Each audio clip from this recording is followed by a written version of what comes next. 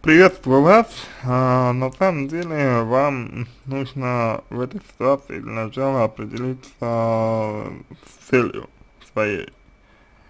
То есть просто так отпустить ситуацию вы сможете вряд ли, потому что а, в определенной степени, да, вы, а, ну, скажем, скажем, скажем так, а, прикипели к человеку в определенной степени, вот, в определенной степени вы, скажем так, а, ну, в какой-то степени вы зависимы от человека, в какой-то степени вы а, нуждаетесь в нем, судя по всему, раз вы а, боретесь, боретесь, раз есть, ну, такое вот вообще понятие, как бы борьба, а, поэтому просто так ситуацию не отпустите. То есть отпустить ситуацию, это означает, а, ну, грубо говоря, а, для себя чего-то лиши, лишиться.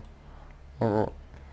А, я бы сказал, что человек не может а, просто взять и чего-то для себя лишиться, а, если он при этом себе ничего не дает. То есть необходимо себе что-то дать, а, сперва, вот, и уже потом, после этого, можно совершенно спокойно а, чего-либо а, ну, чего-либо лишаться, вот. А, пока что на данный момент а, у меня нет такого ощущения, что вы а, на самом деле реально готовы, готовы себе предоставить то, что вы получаете от, допустим, ну, того же молодого человека, да, своего, от мужа, я имею в виду.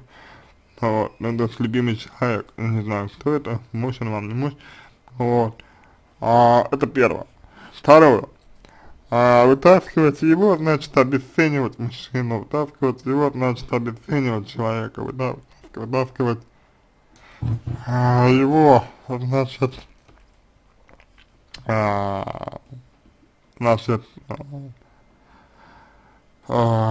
позиционировать его как очень негативного, позиционировать его как нет, ну, нет самостоятельного, понимаете, какая штука, поэтому здесь вы в роли спаси, спасителя.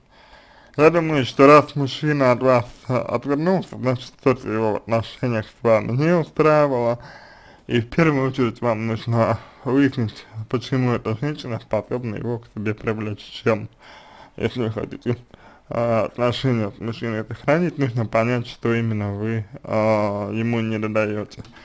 Э, я рекомендую вам изучить также треугольник Карпмана для того, чтобы лучше понять свою роль в этой всей ситуации и выйти из позиции жертвы, в которой вы э, сейчас находитесь.